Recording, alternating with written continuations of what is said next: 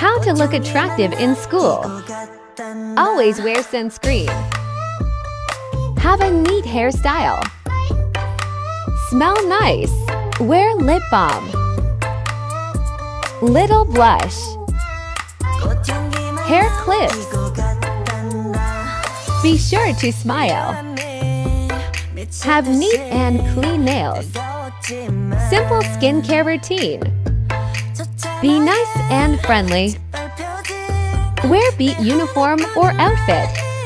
Have cute and clean shoes. Thanks for watching. Don't forget to like and subscribe.